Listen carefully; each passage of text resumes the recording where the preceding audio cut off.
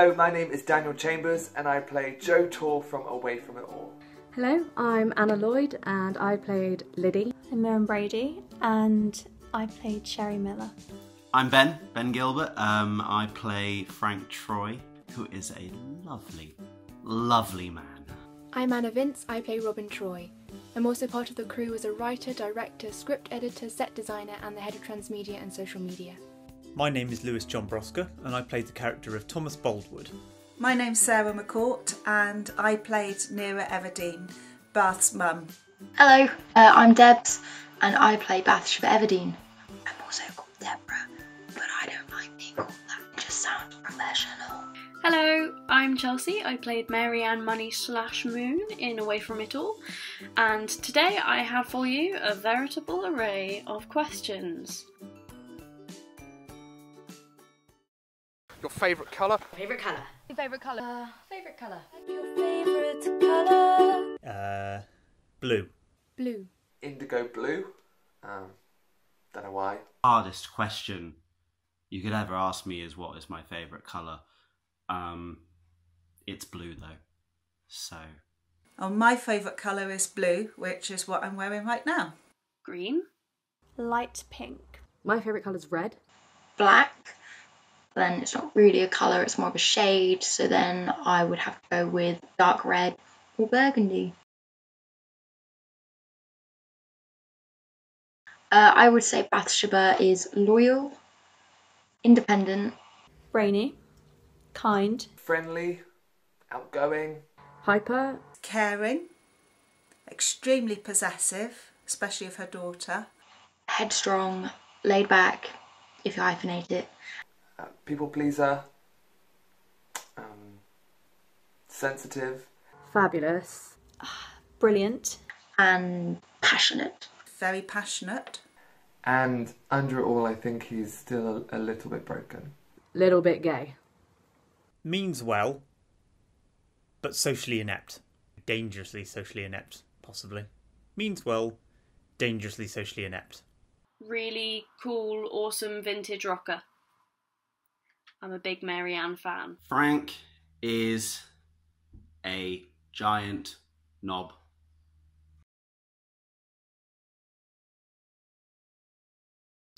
Most challenging was probably, um, I, th- I think it was episode 42 or 46, I forgot which one. oh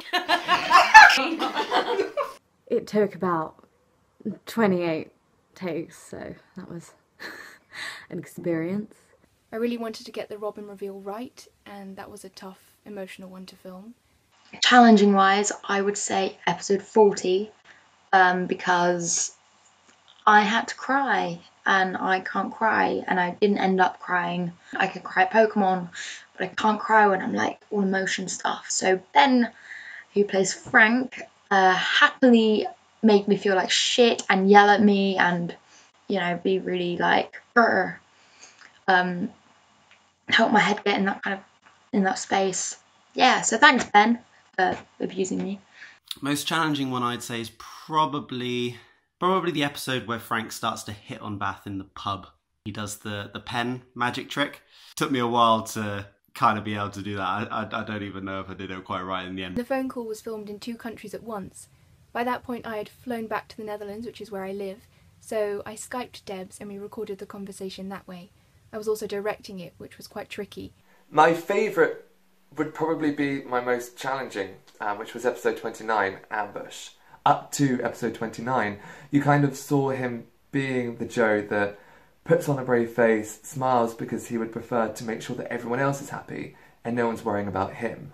Um, and I think in that moment, again, just to help Bath, he kind of bared all and really wore his heart on his sleeve, which was a challenge because it, it was such um, there was there was quite a lot of text in, in that episode, and I kind of really wanted to do it justice and to just try and be as, as truthful as I possibly could. And I, I was very nervous about filming that episode in particular, just because it was a very vulnerable moment for him. I think it became my most favourite because there was definitely a, a certain atmosphere on set that day where everyone was so focused, and because everyone, the crew and the cast, were so supportive, um, it kind of became my favourite moment. I mean, in between takes, we did go out, the sun was shining, we had ice cream, so it didn't feel as though someone had just died. You know, there was definitely that heaviness in the atmosphere. But um, yeah, I think my most challenging moment became my most favourite moment. I think I think it's the same episode for me, um, which is the episode where Sherry and Liddy kiss. Um, it was my favourite episode to film because, well, it was just a really big moment and it was just so lovely and sweet and obviously art like with the game leading up to it with the um the chubby bunny game it was challenging because obviously it's quite a uh, quite a um intimate thing to portray that was part of what made it my favorite as well because it was the challenge that made it fun Probably the same for both, actually. Um, one of the final scenes, I think it's episode 46, 47 or something like that, where Boldwood confronts Bathsheba about uh, the relationship that he thinks that they're going to have together and their future um, as a couple. Um, it was it was challenging, a just because it's a long scene to do, and it, obviously we just saw a complete flip in Boldwood's character, and it, it was a really really uncomfortable uncomfortable scene to be in. Yeah, that was that was a good scene to film uh, in terms of being technically challenging um, for me as an actor. So we we did this whole scene, and then I was supposed to storm out, and then my hands just could not open the door.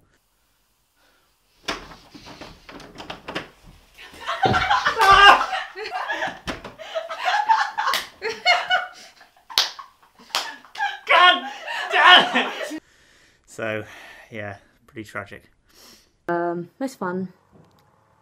Probably the Christmas one, um, where I did the voiceover of Boldwood and Bath together because uh, that was just hilarious to do. Um, my favourite episode is episode 48 because that's basically when Nira mum bombs her daughter's Skype session with Gabriel and embarrasses the pants off her. I kind of liked all of them.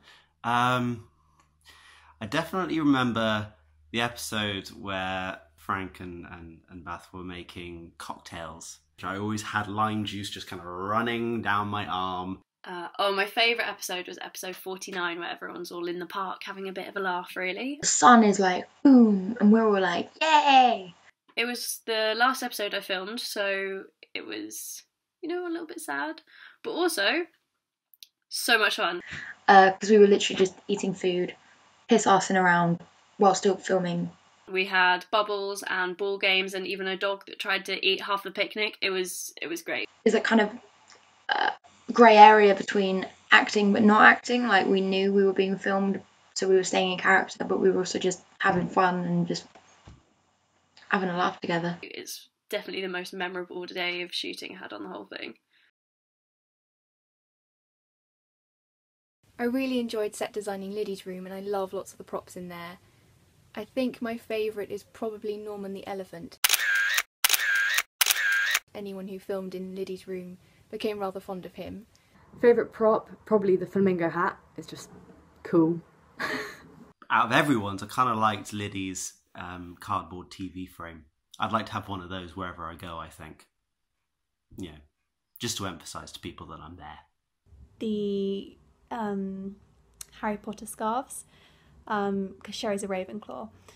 So I had a Ravenclaw scarf, but I'm actually a Slytherin. I have to say fairy lights, the fairy lights behind me on the bookcase. I think probably the best prop's got to be Liddy's camera. It certainly holds pretty much everything together. I also enjoyed making props such as Ellie's name tag, the waitress one, and Liddy's cardboard TV. And also putting the ingredients together for Frank's drink. I think it was like milk, olive juice, blue food colouring, a bunch of other stuff. Wasn't good. Prop wise would be episode 49. I think my favourite prop was just the food. Lots of food. And I love acting and I love food. So being able to do both at the same time was like, I really like the origami flowers we we're making in the episode where we end up uh, Marianne, Liddy, and Bathsheba tearing up all of Frank's clothes because he's rubbish. Um, although actually, I don't, I don't think I remember how to make them. um, costume wise, uh, I think a lot of it would be when I was wearing my own stuff, just because I'm not really used to wearing very eccentric clothing like Bathsheba likes to wear. And also, I'm not very comfortable in dresses, so when I did wear a dress, it was with jeans. I think all of the dresses that Liddy wore, because I'm not really a dress person, so I don't know, I really liked them. They were really cute and summery, like that little yellow one. On YouTube, uh, Jessica said that she really liked Joe's red sweater. So I think that's my favourite too. Here it is. It's very warm. Pretty much everything that came out of Liddy's mouth. Bothered, cease or desist. Or cease and desist. that's my favourite line, anyway. All of Henri's lines, just because they're so. it's Henri, isn't it? You know, just hilarious and brilliant and witty and genius. Yeah. Um, Liddy says something like, I don't understand why people pretend to like jelly beans, and I'm totally with her there. I, I don't get it. Why? Why do you pretend? They're not good. Now, my favourite line again comes from episode 48 when Nira says, Good, carry on then. Completely unaware that she's just sort of mum bombed this really, really intense conversation. Uh, in episode 25, there's a bit of ad lib between me and Ed. I say that he thinks Pikachu is a rat, and this is actually a true story. Ed genuinely thought that Pikachu was a rat. I was like, mate, read the Pokedex. It's a mouse. In the scene where they're doing the open mic night, um, and everyone's really reluctant to go up, and then I think it's Bathsheba comes in and says, um, "You do know you get a free drink if you perform right." Everyone just stops, looks up, looks at each other, just cuts to then everybody performing. I just thought that was utterly brilliant.